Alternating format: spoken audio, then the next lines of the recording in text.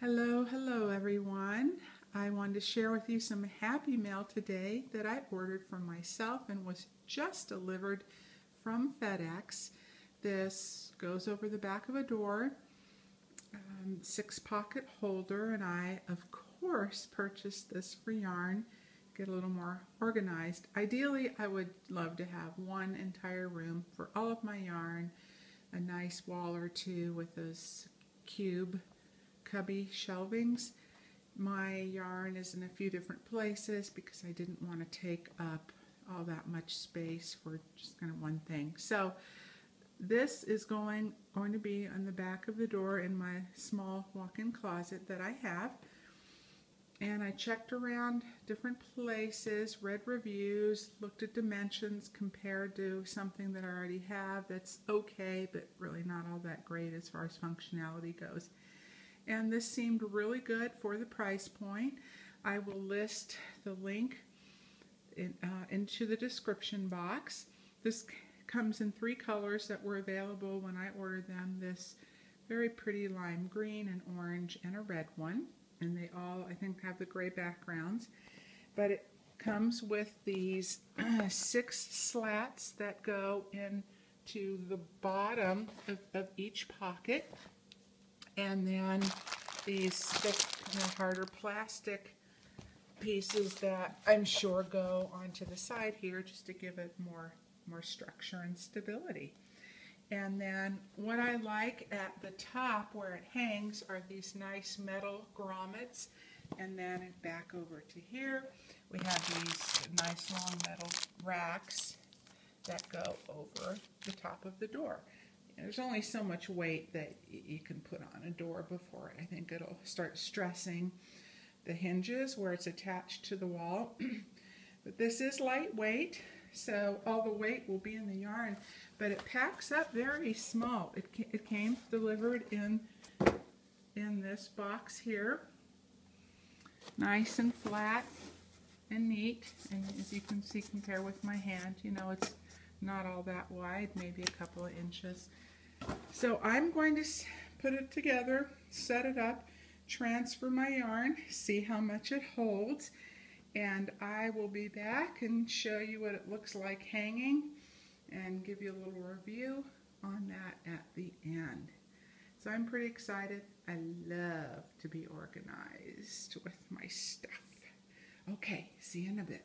Woohoo and yeehaw, I have success and I give this organizer two thumbs up. For the price, can't be beat, holds quite a bit of yarn. I used a 20% coupon. It came to 18 something before tax and I actually needed a couple of other things from Bed Bath & Beyond, so I got free shipping too, which is always nice. So uh, this has, again, the six pockets, three larger, three smaller. The only thing is I wish that in between the smaller pockets there was just a little bit more space, but it's not a deal breaker and I, I can still get to what I, I need and want and I can visually just see everything at a glance. And if you notice the pockets taper, so they start out wider and then they're a little more narrow at the bottom and this allows uh, them to slant forward a little as you can see from the side view so it re really does make it easy access. And in the top, I have four of these flattened, these, these balls. those are probably three and a half ounces each. And a couple of the um, Lion Brand Comfy Cotton. Those, those are pretty good size cakes there. Um, yeah, those are the only two I have. It's just not my favorite yarn. It is soft, but it splits, and I'm it's cotton poly. I, I'm just not a big poly fan, and so it's not enough for me to deal with the splitting to repurchase, but I made a cute little purse, and it turned out great. And they double up pretty well, like if you put two together. So.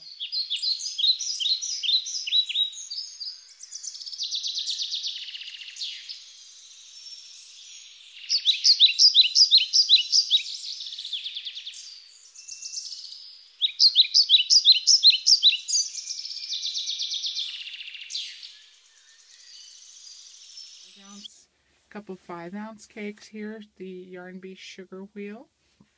It's a number three weight. And this and these two here are all the Caron cotton cakes and I've already used a fair amount of this and, and I use these a lot for the summer hats primarily and they work up real well for bags. This one in the hummingbird is what I used for, it's showing up a little brighter here, but that's what I used in that market tote that I made from the crochet exclamation point spring magazine that I reviewed some videos back and showed you the tote bag and that. So here's here's the yarn. These are 60% cotton, 40 poly. They do have a bit of a string-like feel, but they are soft as well, but not overly soft because for um, hats, if you want, for the summer hats, if you want a brim or something not completely floppy and have a little bit of, of body and structure to it, then you, you need a yarn that has a bit of a, a bite to it, if you will. And, and this was the um, the the baby soft cotton worsted that I purchased at a yarn store that I used for the base on that. But uh, actually, I was just asked in the, the video I did with the cabochons and with that little hat that I wore, which yarn I used. And I'm going to be going over this soon, bring out my summer hats, show you the different ones and styles and the different types of yarns that I used as well but I had forgotten all about this one because, you know, I don't know if, if Caron is coming back out with these cotton cakes. They've had them for a couple of years. I think they're fantastic for certain applications. I don't, but they come out with them late in the season. I think it was the end of April when I saw them in our store anyway. And then that's kind of late, in my opinion, you know, getting started, especially if anyone does craft shows or markets or that type of thing. You always need to get a head start on the season. But, um, so I mentioned that the only, I, I put that in the comment section of this last video, that the only yarn that I found that was comparable to the Caron cotton cakes is a Hobby Lobby Yarn Bee, their little dollops, L-I-L, the little dollops. And those are little pint size. I, I think they're probably 50 grams. So you would need two of those to equal one of these. This one probably has longer color changes because you get one of each of five colors per cake. Whereas the little dollops, you get the five colors. I think it is five in a, in a smaller cake, so you'll have two of those repeats to equal one of these. I hope that makes sense. But as I was reorganizing my yarn into here, I remembered the Hobby Lobby Baby Bee, their Hushabye solids, which is, again, it's same number four weight. And this is 50-50. So it's not quite as high of a cotton content. It's 50 cotton, 50 acrylic. But it was, um, I, I think it's pretty comparable in feel. It might be a little softer than this, but I don't think so soft where it's not going to hold the shape. So you could go online to Hobby Lobby if you want, check out their colors, see what they have. So, I mean, look, each, each of the big pockets holds eight cakes and then at the bottom, I have two five ounce cakes of the, uh, they're 492 yards each of the Cascade Heritage prints.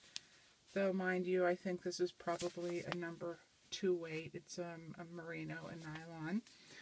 But still, you know, that's, hey, there's my kickboard for swimming. And then I have three universal yarn cakes in the front, and I think there's probably room behind these for three more. And those are standard three and a half ounces, number four weight. So I'm real happy with it. Oh, I wanted to check, show you, okay, those, those plastic pieces um, for the sides. And they, they taper to the shape. So you get six of each side, size, you know, two for each pocket, one on each side. And then the smaller ones, same thing. go in here. And there, there is. There's a little pocket on the side. You can see that. that they just slip right into. And I think it's pretty well thought out. The the base that I showed you at the beginning that, that goes in the bottom, it even has the fabric tab on the end. So it's easy to just remove if you need to.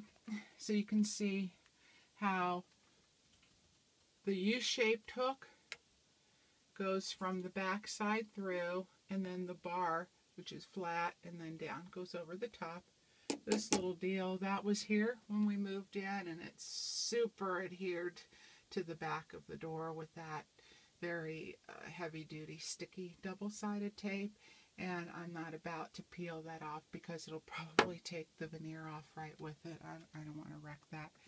Uh, so it really it feels very balanced the weight. It's not any more than what I already had on there. And you can go on to the link if you like, and I'll also put that in the uh, comments section and pin it at the top to make it easier for those who are on their mobile phone, hopefully. But the width of all the pockets, 14 and a half inches.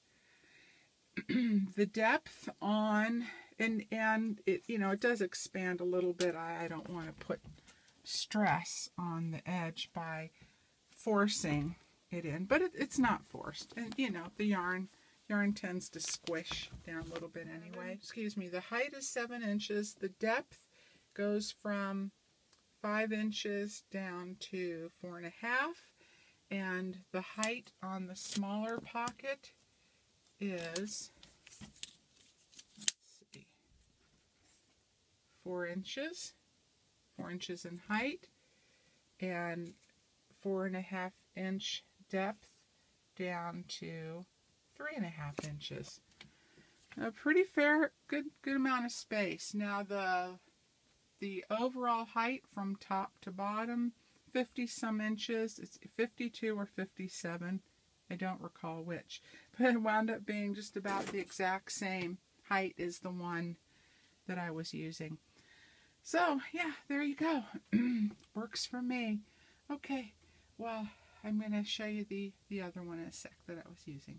So here we go. Here's the pocket organizer I was using before. It's just really not all, all that super functional. These two plastic pockets are the only ones that have the closed sides, both on the front and the back.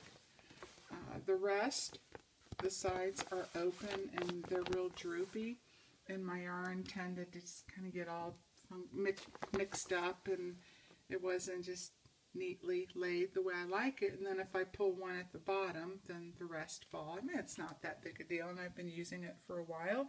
I had it. I wanted to use what I had and make it work but when I saw that other piece I thought well instead of paying for shipping on the other items I'll just put the shipping instead apply it to something I've been looking at for a while and um, you know get get a little bit more for my money there. so the rest of the pockets are all like this. So I had every one filled and then the top one on the back and a few odds and ends in here and it, everything fit in the other one quite nicely. So this could probably use to put maybe some shawls or scarves or shoes in. Okay, well that's it for now. It's starting to get really windy and overcast, and I believe some rain's coming in soon. So while there's a little bit of sun, I am going to head outside and work on that crochet project for the rest of the afternoon. All right, take care, everybody. I'll see you soon. Bye.